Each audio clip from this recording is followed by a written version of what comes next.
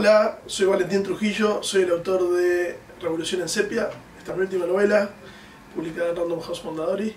Eh, y bueno, creo que es de las primeras veces en que la literatura uruguaya eh, se anima a un autor a eh, rever hechos de la década del 60 con una visión diferente, o por lo menos original.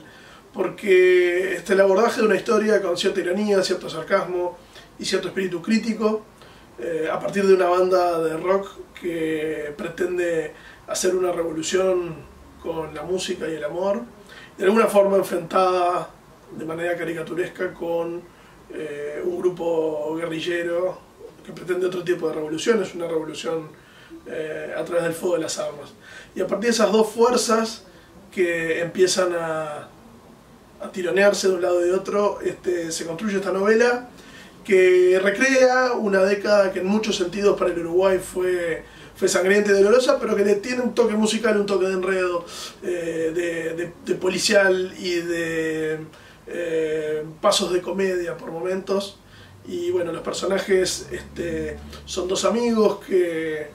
comienzan a componer y comienzan a entusiasmarse y arman una banda, viajan a Buenos Aires, hacen una gira y se hacen muy famosos y deben volver al Uruguay para, ser un poco profetas en su tierra.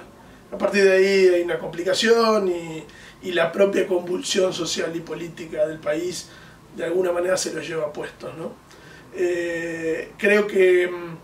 es una mirada desde una determinada generación, que por supuesto es la mía, yo no viví esos hechos, nací en el año 79 eh, y por lo tanto la recreación obviamente es desde ya entrado siglo XXI